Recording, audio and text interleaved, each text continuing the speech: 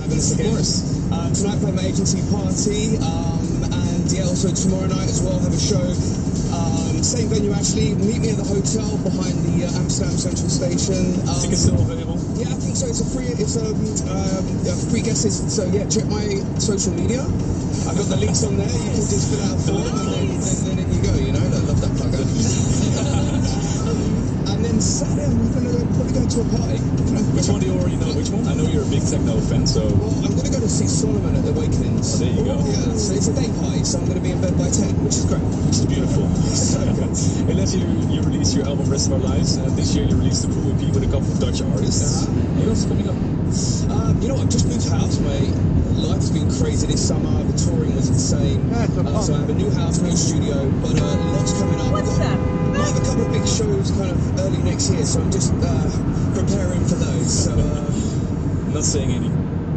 He's got no tailgate or a stolen car.